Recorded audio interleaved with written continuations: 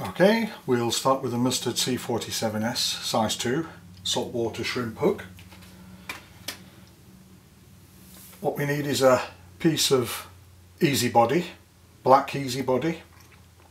Uh, we measure the length we want where the hook will enter the tubing and what we do then is we take our scissors closed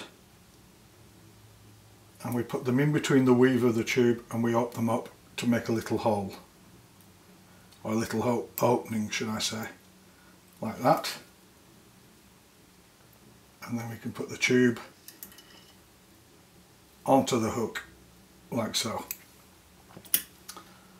So we take our Dyneema tying thread or GSP just move this out of the way and we just attach this to the front of the hook shank just behind the hook eye. This has to be nice and secure.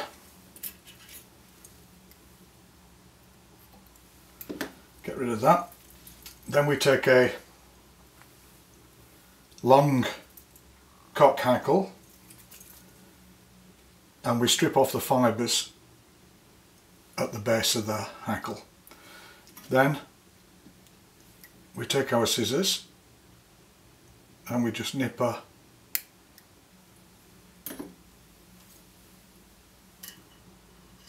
tail shape into the hackle. So we then cover the hackle with a UV resin on both sides. Move the tube up. Now, before we do this, sorry, what we should do here is we just take the end of this tube and we just just singe the edges a little bit just to keep it uh, just so the uh, tying thread later has a bit of purchase. So we go back to the hackle and we take our hackle and we place it thread it into the center of the tube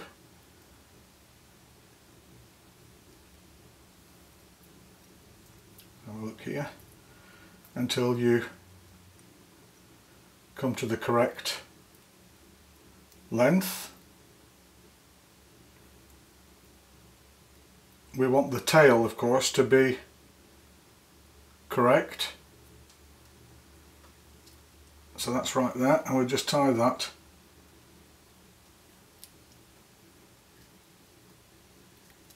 onto the hook shank. Just check that the tail is correct still. There we go. Now I can remove that. And we want to tie that nicely down. So then we've got the tail and the body. So now we have to tie down the, the tube.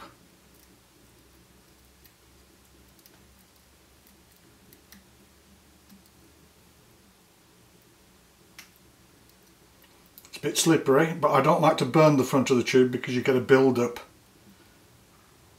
at the head and I don't want that.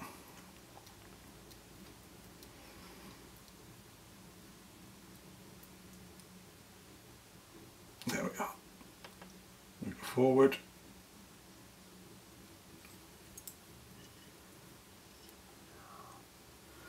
That's looking good. Tie that nice and tight take our whip finish tool. And we give this a couple of whip finishes. Remove that. We need a black waterproof marker. And we'll just go over the Dyneema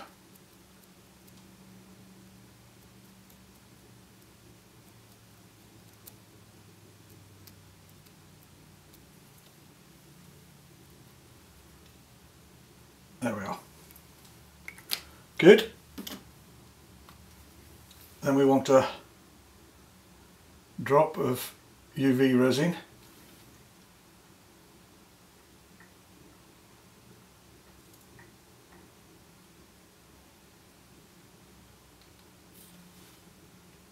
just to secure the head. To give that a blast with our light. If you're using UV resin I do recommend this I have on a foot pedal connected to the mains and it really does make a big difference. So there we go so far. Then what I want is two eyes. Now this pattern is made specifically for fishing at night hence the black colour uh, to give a much better silhouette uh, when it's viewed by the fish.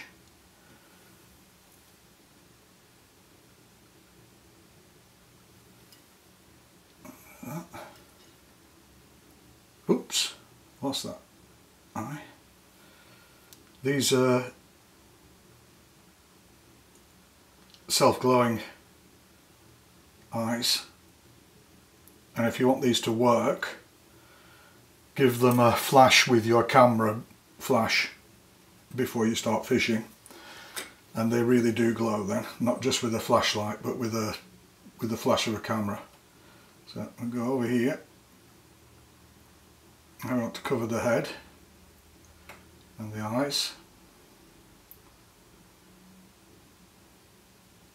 This also if you get it into the weave of the easy body what happens here is that it gives the pattern a little forward weight which helps both in casting and uh, fishing direction.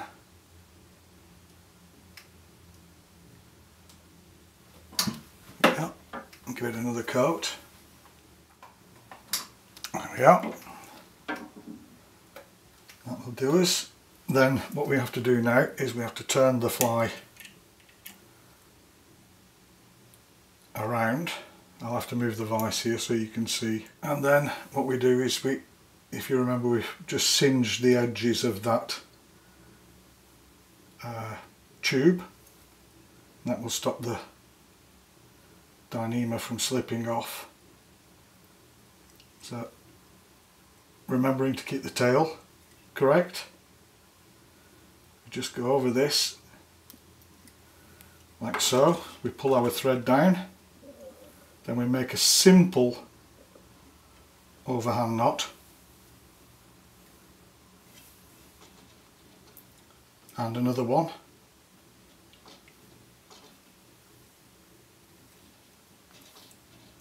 Just to hold everything in place oops and we take the two pieces of thread together and remove them. Take our waterproof marker again.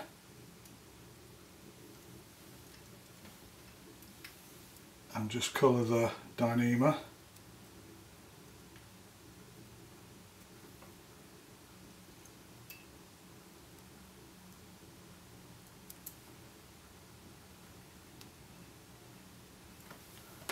Then what we need is our UV resin again.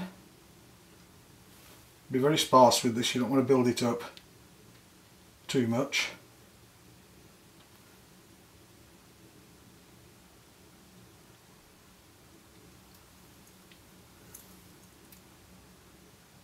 Cover both sides.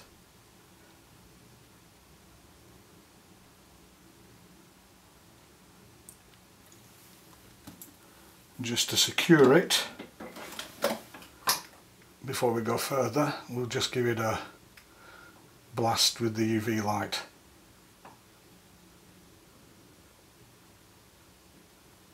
Good. Now I'll turn it around again. So what we can do now is trim down the tail if wished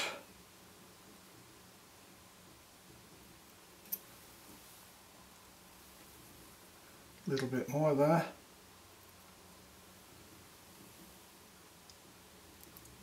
And if it needs a drop more UV resin, give it a drop more UV resin, but that's uh, that's basically it. That's the nocturnal sand eel. Great pattern fishing at night for uh, sea trout or striped bass. And of course, if you want it to float, you can put some foam in the tube before you tie in the tail. And if you want it to sink, you can put some lead in the uh, easy body tubing. So nice little pattern and with being black gives a great silhouette at night. And, and as you can see totally flexible so it's no no problem casting the wind or air passes through this it's aerodynamic and aquadynamic great pattern thanks for watching